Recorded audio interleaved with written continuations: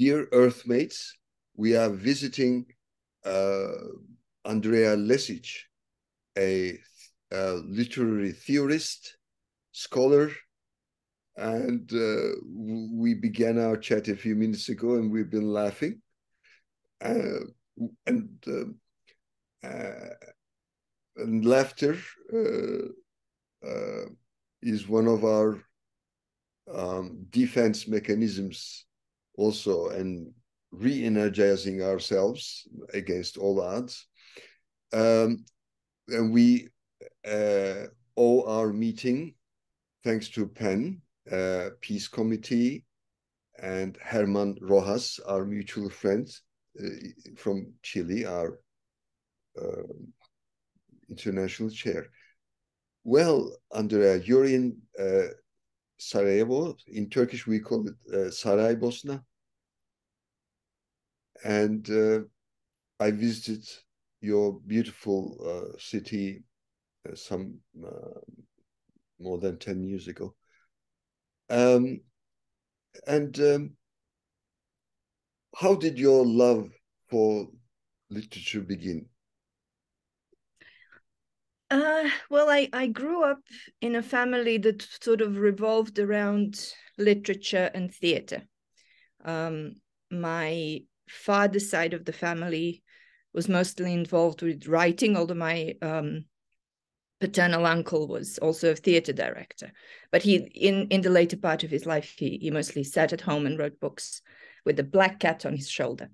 Um, and my father was also a literary theorist, teaching here at Sarajevo University. And my mother's an actress, and her side of the family, apart from the older generation, which came from a, a village in Vojvodina in northern Serbia, so they were peasants. but my mother's family is mostly involved with theater. Both her, she's an actress, her brother was a theater director. Um, so it it was just the environment I grew up in, and I sort of in in my early teens, I was a very big fan of science fiction. And in a way, I've returned to that. My the book I just finished is is partly on science fiction writers or female writers. And then at the age of I think 15 or 16, I read Goethe's Troubles of Young Werther and fell in love with that sort of literature because previously I thought in my mad science fiction days that I would study astrophysics or something like that. And that would have been a very bad idea. but then I um, I discovered that I really wanted to to read really complex, really interesting literature and analyze it. I never really seriously entertained the idea of being a creative writer. I always knew that I had this sort of distance from literature. I wanted to unpack it. I wanted to see how it works. I wanted to see what made great literature great.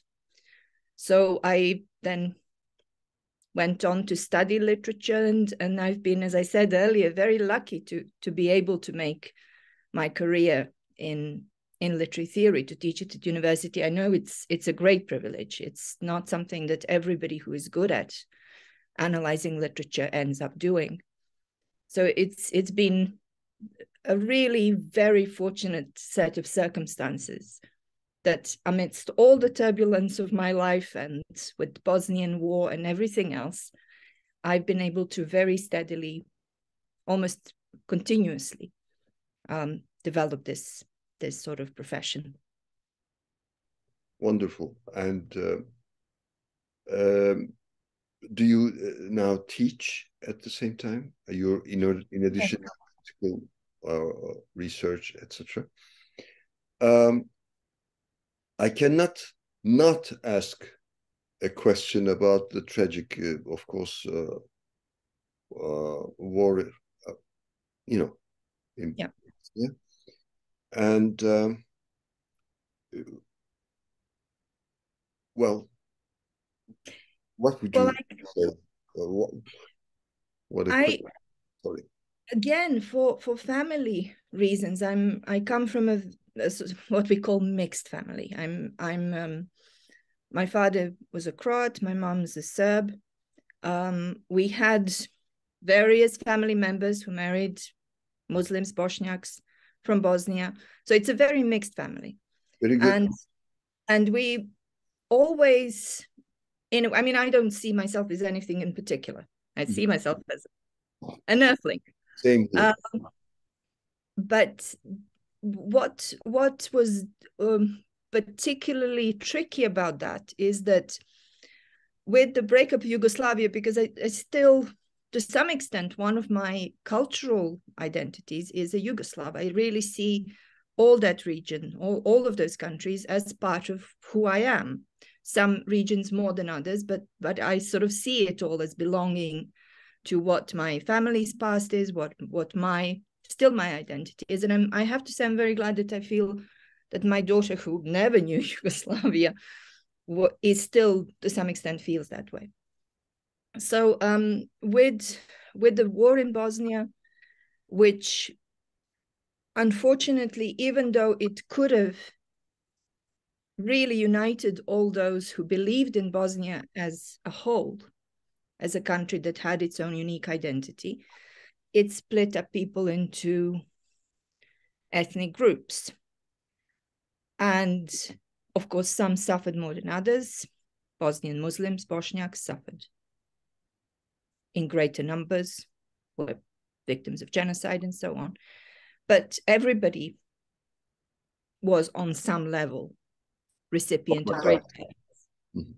And for us who don't really belong to any of them or who don't want to belong to any of them, um, the present situation is really very difficult because you all of the political discourse, all of the um, sort of identity um, institutions revolve around ethnic identity. Um, even when they are presenting themselves as being something else. So, for example, we had elections recently, and the really difficult thing that I think all of us on the left, anti nationalists, that are trying to grapple with is that the parties that are nominally anti-nationalist appear to be anti-nationalist until that doesn't suit them anymore. Um, so then they make coalitions with with very right-wing, very nationalist parties, um, depending on what they are. So it's it's um, I think the the problem with Bosnia now is that you know the war ended 27 years ago it ended in 1995. And we are still talking about it. It's the still key event that is permeating political discourse, cultural life, and private lives of people. There's still people who have family members who were refugees then, who stayed refugees. Their whole families who are basically being financially supported by their expatriate um, family members. Um, almost all literary, theatrical film production is centered around memories of the war or post-war trauma. And it's it's a strange situation where you have an event of a long event, long tragic, traumatic event of 30 years ago absolutely determining determining everything else in the present and you don't see really any way out that is currently viable and i keep hoping for something that will turn it around that will make things different that will change the way even the war is perceived for example there were big protests um, by workers who who used to work for factories that were privatized and then um, dissolved or went bankrupt or sold off for parts and, and, and that sort of thing. So this was in 2014. And at that point, it seemed that the political narrative might change into the story of the problems of privatization, of problems of transition from socialism into capitalism, of uh, workers' rights, of um, all the corruption that went on. And it was just this blip in public life, in political sphere, and it went away. And that energy that was felt in those protests in 2014 just dissipated. And frustrations are still there, the problems are still there. But the way of tackling those issues and solving those problems is nowhere to be seen. And it's really difficult because we are stuck in the same frustrations, same conflict, same um, completely dead end identity positions that we were 30 years ago before the war. And you don't see any way of breaking that. So I'm I keep whenever I talk to to writers in Bosnia, I keep saying, is anybody writing science fiction? Is anybody writing crime fiction? Is anybody writing generally genre fiction? Because you're all writing about war traumas. And I think quite a lot of people are really fed up with feeling miserable all the time and feeling hopeless. Um, and I think that that some kind of flight out of that sense of we have to remember we have to remember the trauma we have to remember the victims we have done that. It's all there in the institutions in memory places in can we now just allow people who are alive to keep living with hope and and the sense that the happy ending is possible? And i think it's it's that's now that is a real problem. Of course you have to remember the victims and and all of that but at some point you have to remember the living. And um and i think that's to me that's the the most heartbreaking thing that i see um currently in bosnia. Well uh, thank you so much. Um, you presented the situation process uh, extremely uh, well uh, i'm enlightened um, i think uh, we need to be futurist uh, historians. Uh, I mean, what kind of a world do we want? To me, that's the number, the, the first. Most people, um, first of all, professional politicians focus on uh, the limits of their countries. Um, and then people like us, we are beyond boundaries, beyond uh, countries. Uh, we are citizens of the world, citizens of the earth, and um, and thanks to COVID, more and more people now realize it uh, that we are on the same planet, and mm. uh, we can solve the big problems only if we collaborate, and that's why Earth civilization uh, a movement or synergy, um, I, I, think maybe one of the realistic utopias. Or actually, that's why I'm uh, I've I have finally devoted, I can say my life, most of my life to to this uh, goal, goal path as I call it. Uh, we we need to uh, instead of um, being swollen up by the past, we need to embrace the future without forgetting the present, without forgetting the past, but learning from the past instead of going back and being chained into in the past. So that's why I want to consider myself as a, uh, as a futurist historian in a way. Uh, and act, if we add activism to it, then uh, we can be a little bit optimistic. And you are an activist at the same time. Uh, you're on the advisory board of uh, PEN International uh, Writers for Peace Committee upon the invitation of Germán Rojas, or, as I said. Um, I, how about your relationship with PEN? How did that start? Uh, well, that that's also a family story. it's it's um uh, because my father was I I was not in the war here. I I was um I just started studying in Belgrade because I didn't want to study at the same university my father was teaching. Hmm. um, at. Um, and so the war, when the war in Bosnia happened, I was in Belgrade, which was not at the time the best place to be when the war in Bosnia was going on, but it was still much safer than being in, in Bosnia itself. Um, and so when the war started, my father was one of the people who were uh, founders of Bosnian PEN. Um, and it it so I sort of followed what was going on there through through my father. And when I because I was living in in England for about 10 years between 94 and, and 2006, 12 years.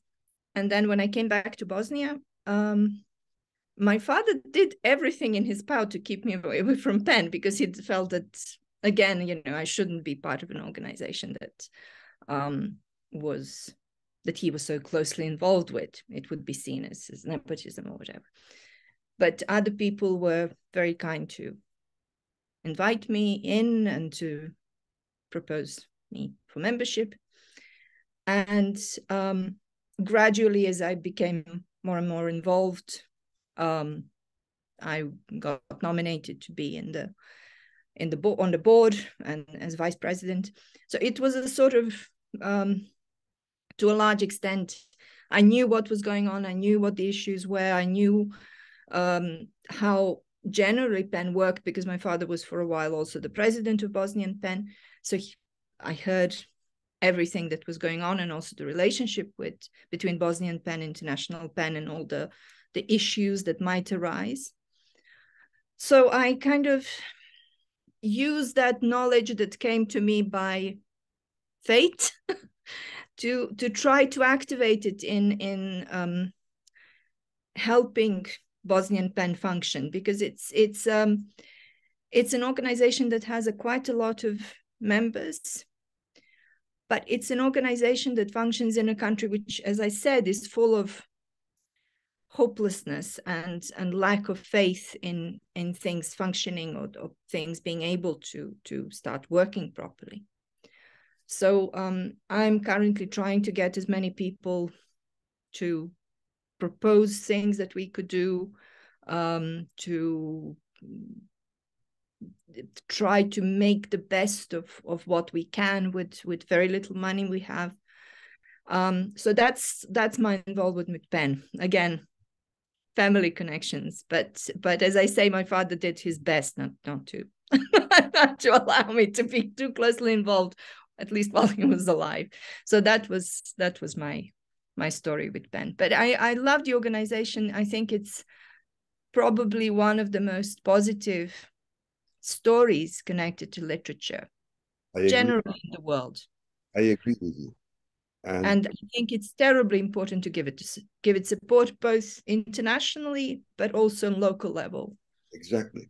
I agree with you. I one of my favorite words recently is global, the connection of global and local. I like that. I, I mean, instead of this uh, and nonsensical dilemma, uh, pseudo dilemma between local or global.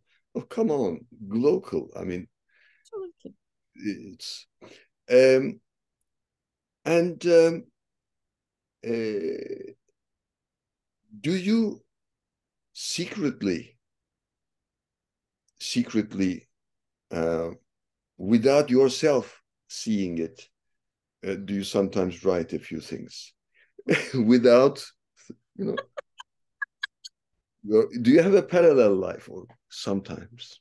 Uh, yes but it's very private. I mean i don't um i think i'm too interested in in the way literature works to allow myself to fully relax with the idea of what i write in secret being made public but um I sort of feel that it will probably come at some point. My my father wrote two novels mm-hmm. in his sixties, and mm-hmm. um, and both of them came as as a way for him to process his experience of the war and his nightmares. Really, I mean, he he continued having nightmares because my parents were here for um, more than a year and a half during the war and um, and he w- he was a very sensitive man, and and he kept having nightmares, and he felt that because there were also sorts of all sorts of family tragedies. One of my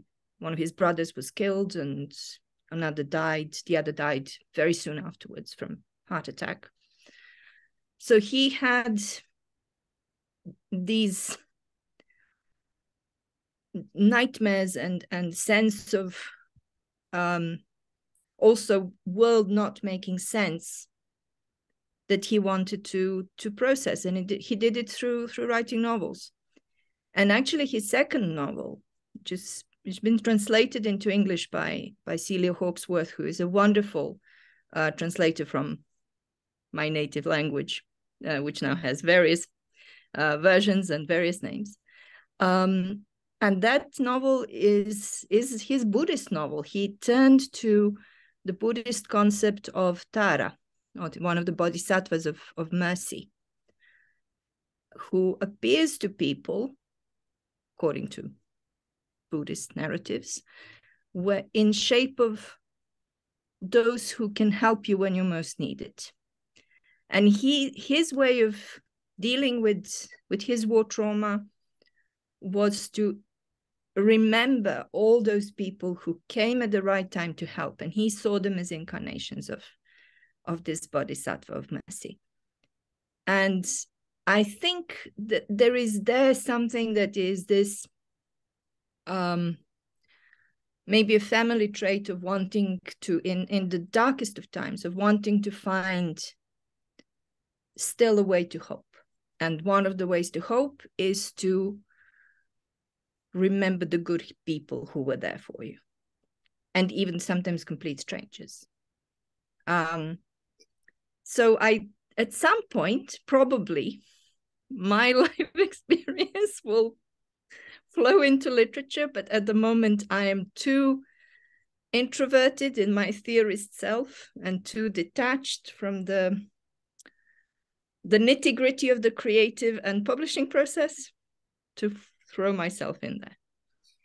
Uh, publishing is another. you know, nobody has to publish anything. Look at Kafka; he didn't publish anything. That's true. That's true. Uh, the thing is, the joy of playfulness. Uh, you know, playing. Uh, this uh, that's that's for me. Art is a game. Um, mm -hmm a fruitful game, a play. And uh, the problem is starts when we take it too seriously. Then we block ourselves. W- why not? Uh, for, uh, I enjoy saying that uh, don't be afraid of writing badly. Don't be afraid of writing foolishly, you know, and uh, enjoy the ride, enjoy the adventure because that the very act of writing enriches oneself. And i and i am my own the most important reader for me is myself. And for each writer it, it is so i think. I mean and i don't care what others say. Really i don't. So uh, some people may like it some people may find it foolish. So what? Uh, because I'm I am I feel bored with the um, terribly low IQ agenda of the world in general and countries in general. I mean, are we stuck to that low quality uh, mentality? No. Uh, how can we react to it positively? By knowing no boundaries to ourselves. And the, my, one of my mottos is my I am, my mind is limitless, my time is not.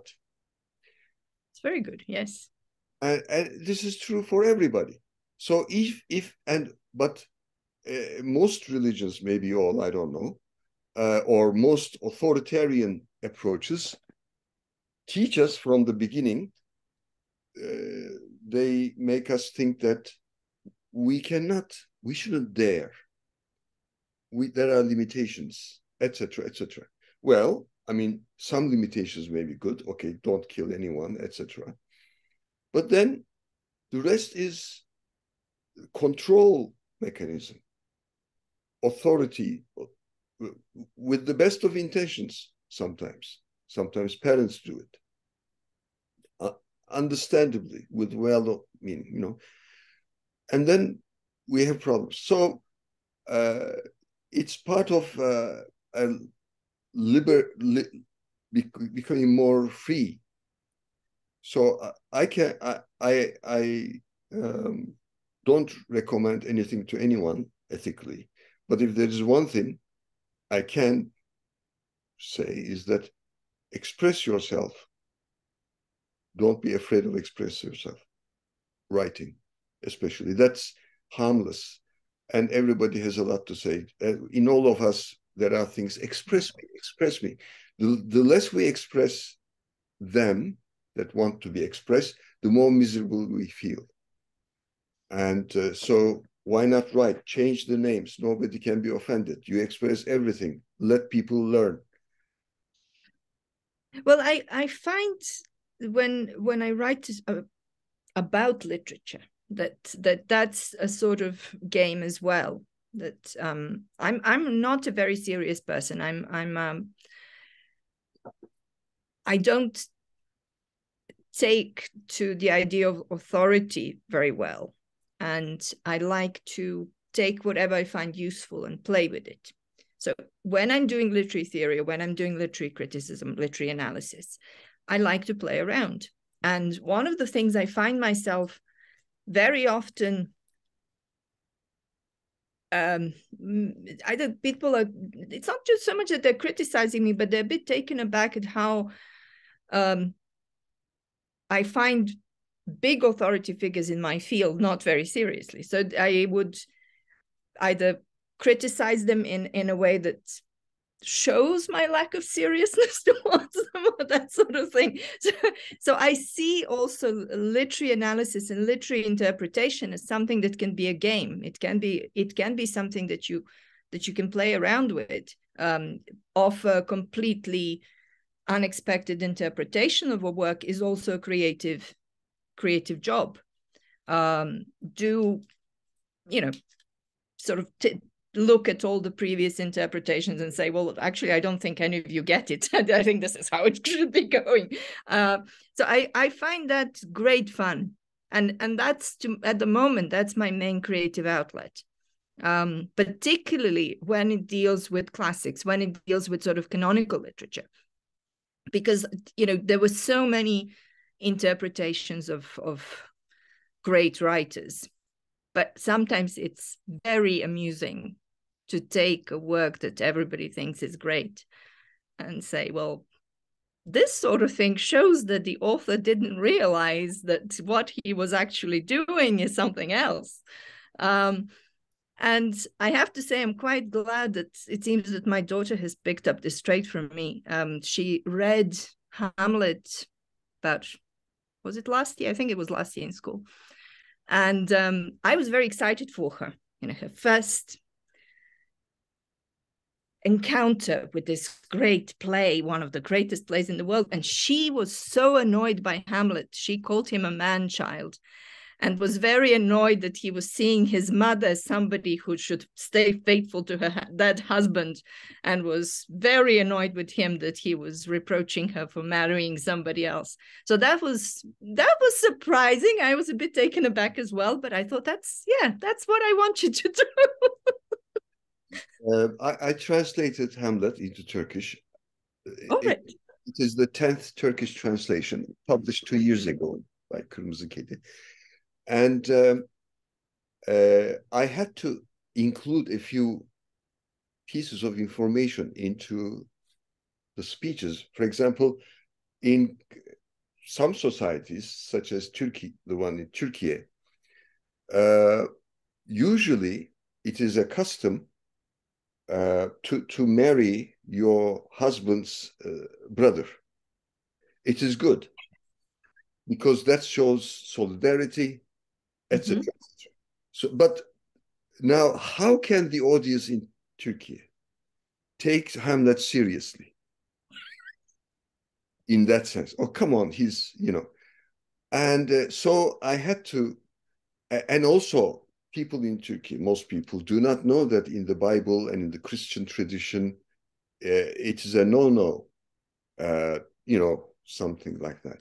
So um, I added those little pieces of information to to make sense of the whole thing. Uh, so uh, that I maybe we can call creative trans uh, translation in a way necessarily you know a little bit. It is i prefer the word echoing actually. Not translating but echoing yeah. you know. No, I, I think it's very interesting you, you say that. I, I also teach a, a course on literary translation and one of the the things when particularly when um, translating plays which are meant to be performed on stage and you can't have footnotes that the audience can read exactly. it, you you need to to make those interventions otherwise the whole thing is is nonsensical.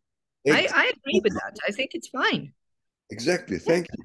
And i also added phrases like u-turn and 24 7 or in turkey we call 724 because that is legitimate because in hamlet's time again a week was uh, seven days and a day was 24 hours.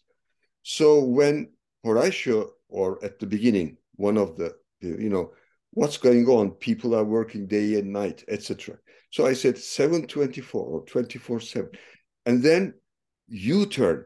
Now there there were horses and there was the letter u. So what did horses do? I mean, it was a U-turn. So these little things bring, you know, that's why Shakespeare is uh, is uh, in a negative position in England because the British people cannot easily do that. But yep. we are Shakespeare is more free in other languages, in a sense, updating.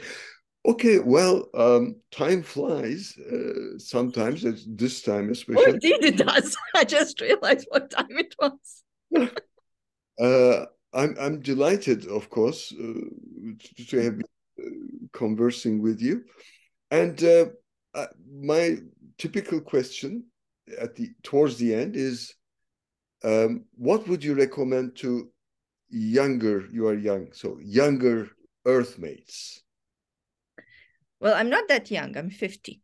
Um, but I'm 70 now.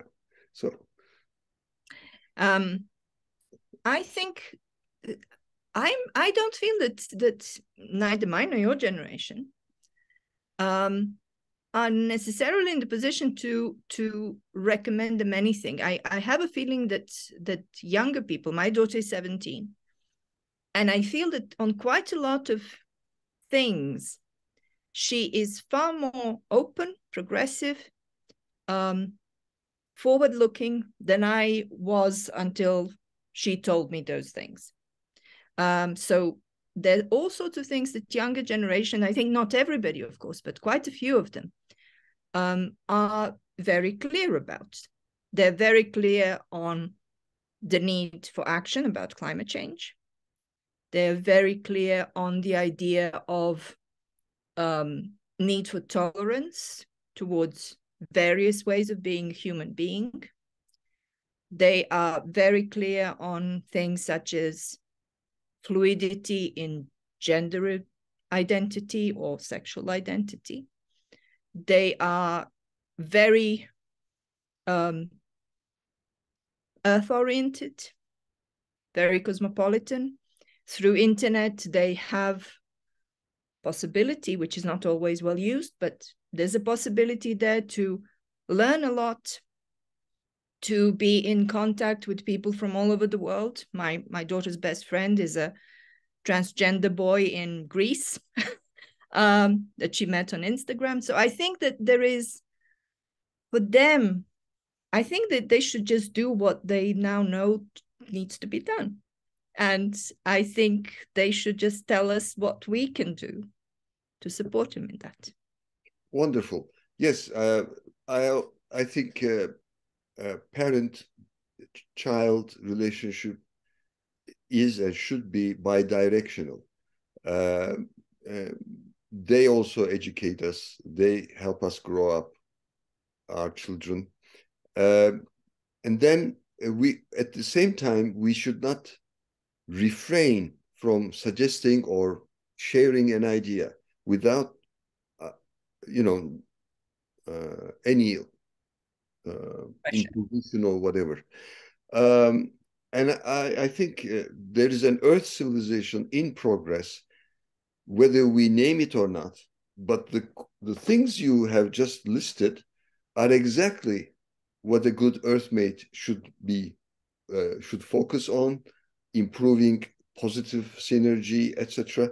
And whether we name it or not, there is a, a positive uh, transition taking place, and the more we can, the more we can add to it, the better. Thank you so much, dear. Thank you for inviting me. It's been a great pleasure, my dear Earthmate.